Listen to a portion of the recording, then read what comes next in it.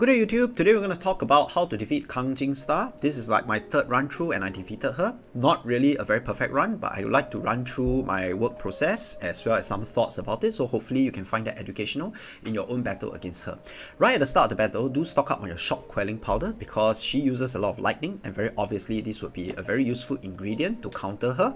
Lightning resistance is key so that you can survive a little longer in this combat. I would propose that at the start you hide behind that rock which is a bit of a distance away from her and be prepared just to go in with Red Tide so that you have a chance for Red Tide to resurface again in the later half of the battle. So with Red Tide, it doesn't matter even if you get uh, a few of her initial lightning attacks land on you, you can afford to lose a health, but what you really want to do, right, is to hit her with as many light attacks as possible. You want to execute at least one heavy attack to land properly on her so that would significantly reduce her health. I follow up with a Wandering Wight earlier on so that maybe I might have a chance to use it again. And as you can see, I reduce her blood down to a third. That's my usual strategy, the one that I use against the Yellowwind Sage as well. So after this, she will turn into her dragon mode and she'll start to spam AoE. I'm not doing a really great job here in avoiding her AoE attacks. Basically what you need to do is to just roll dodge. There will be signs to show you that the spear will be appearing near your location you just need to roll dodge at the right moment. And she'll be staggered a little bit when she returns to human form.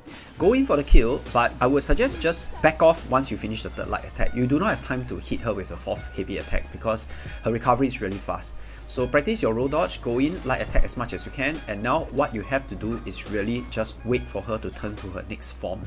If you can, go in, a few light attacks, back out again, rinse and repeat. Wait for her hair to turn white because that will be when she will turn into her second form and that is where uh, Act 2 really begins for your attack, right? Keep a lookout on your stamina, keep a lookout on your potion, and when the lightning comes, yeah, do avoid it. Now the long range attacks which you will definitely do somewhere around this stage, right, consists of flying daggers which they will do this arc and go up into the sky. So that's the point where you need to roll dodge when it reaches highest.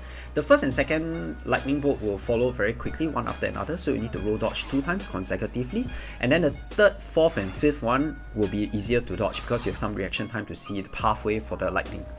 Okay, and then eventually after the attack, she will turn blue and she'll do another major upgrade AoE attack. This is the one where you just have to keep roll dodging. I don't think there's a space for you to actually rest and relax. And in this mode now, you gotta wait for a window to open where you can do Pluck of the Many. Go in and try to stagger her. I hope this heavy attack lands. Yes, it did. And now this is the time to use Monkeys to come in and do battle. I should have used Immobilize instead of Cloud Step, but anyway, it does the job. Let your monkeys do as much of the damage as possible and this phase you should try to look out to reduce her health down to the remaining 25% or 25 to 30% hopefully. Another thing is you can also use the wind taming vessel that you got from chapter 2 to immobilize her temporarily one time so there's like a get out of jail card. Use whatever weapons and instruments you have at your disposal right so that you can stagger her. So this is a time now where I did not successfully roll dodge some of the attacks which I should have done and made the battle a lot easier for myself. Or she'll start to spam AoE attacks, usual just roll dodge as much as possible, use up all your spells if you need to, go in, light attack, and now it's a matter of attrition and see whether you die first or your red tide will resurface again because the red tide is really the one that will be able to turn the tide of the battle, pun intended. My red tide should be ready anytime soon. I'm just spamming my roll dodge. And yes, red tide baby.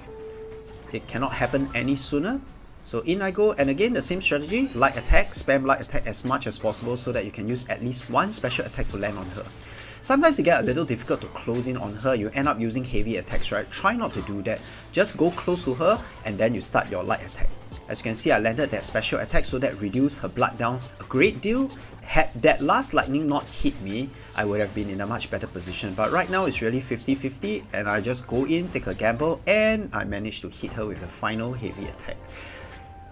So I hope you enjoy my run through and my walkthrough with this particular boss. Hope you have good luck in your endeavors with this game. I see you in the next video. Goodbye. Still, though,